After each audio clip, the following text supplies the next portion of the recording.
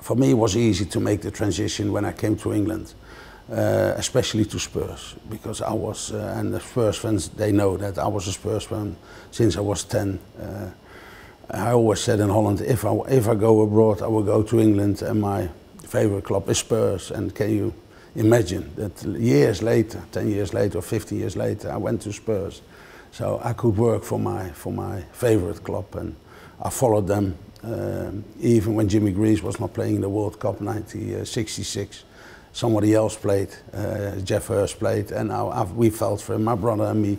So uh, it was uh, almost like a fairy tale to go to England to my favorite club. So, and I managed to stay there for three and a half years, which was nice, you know, because on average, uh, managers now nowadays will be in a club for maybe a year on average. I have done London and Amsterdam.